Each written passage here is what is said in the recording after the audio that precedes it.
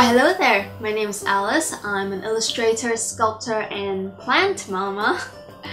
and welcome back to the Mushroom Nook Studio. Things tend to get a little strange around here. So, the year is 2020 and we've all found ourselves stuck inside. But spring is here, and as any plant parent know, it is the time where your little babies need a little tender loving care so that it can start thriving in the new year. So for this video, I thought I'd take you along with me on my plants journey, do a little tour, introduce you to all my children. And also, I've always been a very big fan of those science species slash family tree kind of catalog posters. So I thought, hey, why not make one of my own? I'm an illustrator. Let's go and illustrate every single plant I have. Because that's fun and not mental at all. It's gonna turn out great. I can see the vision in my head. It's gonna be great. And without further ado, let's get into it, shall we? Alrighty. I started by cataloging all of my plants. Apparently, I have 24 different types of plants. Who knew? Next comes the header to the poster, and of course, the always important caveat that this is to be expanded. Because let's be honest here, is anyone's plant family ever complete? I sketch all the plants out first with pencil just to make sure that they fit in all nicely with each other. I also wrote out all their names, common and scientific, with my trusty dip pen. And I then went ahead and painted everything with watercolor before going in with my dip pen again, this time with brown ink, just to refine everything and add that little touch of detail. Ferns are probably one of my favorite types of plants, and I own several different types of ferns, which is ambitious because they are notoriously very fickle. This one is the famous Boston fern. Now, I don't know if this is just me or if this is an actual thing, but uh, it came from the tropics. So, the idea of any plants or flowers with any kind of blue hue is still mind blowingly magical to me. So, I still have a hard time accepting that this blue star fern is an actual plant. Here we have the Never Never plant, a type of prayer plant, so called because at night their leaves fold up like praying hands. I also have a thing for putting tiny plants in novelty teacups.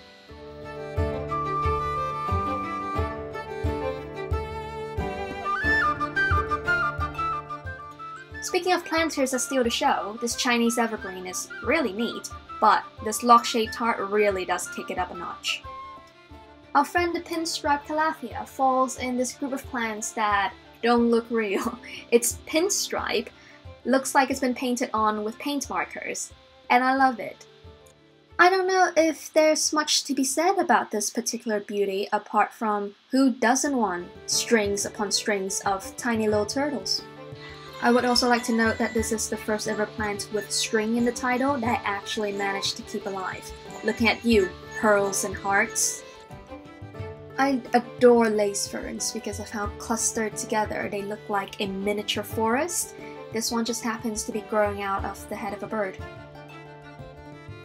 Another member of the prayer plant family, this rabbit's track plant is just too freaking cute. And in the summer, she sprouts these adorable tiny white flowers that are always the highlight of my summer.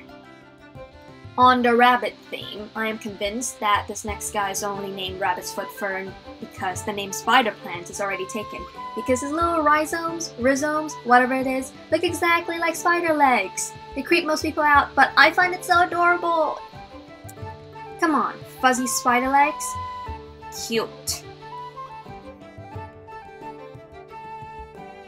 Ah yes, we have arrived at a plant collector's holy grail, the Pilea to end all Pileas, the Chinese money plant. Sought after by many far and wide, because come on, look at this thing. Can you get any cuter than perfectly round leaves? I think not. This queen is also really easy to take care of, and once you've got one, you're gonna have a forest of them because they pop out little baby plants like every other week, especially in the summer. It's insane. You're gonna be drowning in Pileas before you know it, and you're gonna be so happy about it. And also, baby Pileas are so adorable! Ah, the maidenhair fern. Delicate, elegant, so freaking hard to keep alive. But it's alright, because we are in love, and love shall persevere, and we should never mention all the other ones that I've killed. It's fine, none of anyone's business. You might have noticed a little theme by now of me having a type, and that type is plants with adorably tiny leaves that are super hard to take care of. This one happens to sit on a throne. That should tell you all you need to know about our little Gracie here. Psst, she's a diva. Here we have a sort of fusion of all of my favorite things. Plant doesn't look real, check. Novelty planter, check. Novelty planter that also happens to be shaped like a cup of tea, doubly check. We have a snake plant. It's tiny and adorable inside a tiny adorable planter. Yay!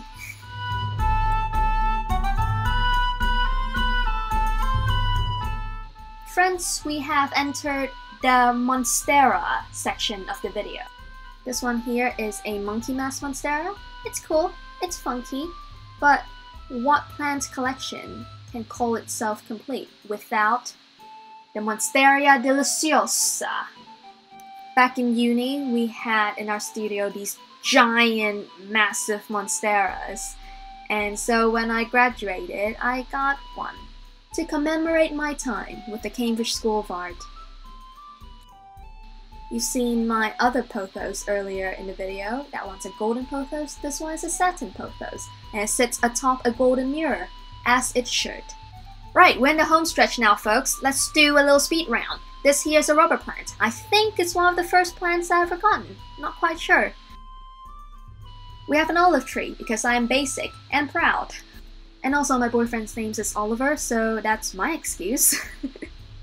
and finally, I have an army of succulents, and they're all tiny, and they sit inside tiny antique cream jugs that I collect from charity shops. I don't know how to put this bit together, so montage!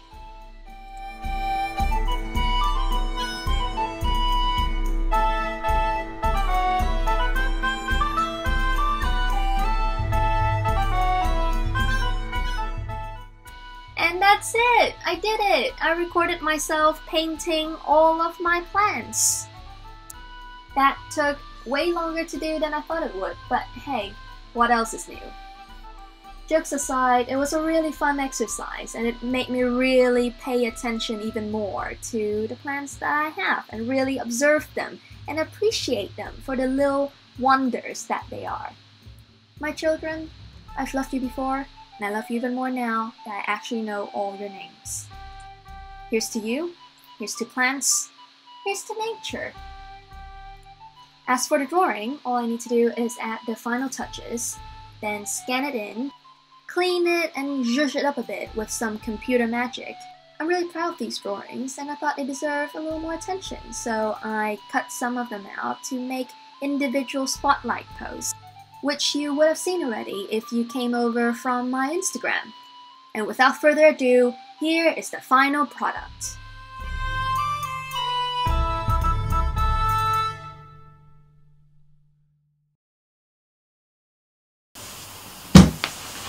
Why hello again there. I hope you've been enjoying that video. Can you tell that we've been in quarantine for more than a month? Did you enjoy seeing my front room? It's a little change of pace, but it's good. It's nice. If you have enjoyed that video, feel free to let me know in the comments down below and hit that like button while you're at it. If you've really been enjoying that video and you would like to enjoy more videos like this, feel free to hit that subscribe button. And if you want to know when you can enjoy more videos like this, ring that little bell, you know the drill. And while you're down there, check out my website and store in the description down below, as well as all the social medias, because I tend to get around there. It's a fun time. Anywho, I hope you're having a nice day. I hope you're staying safe and well.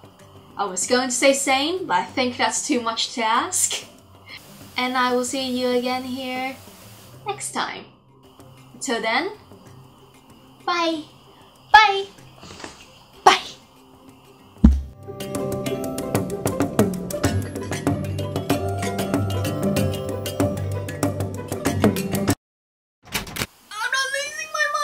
swear it's fine. Everything's fine.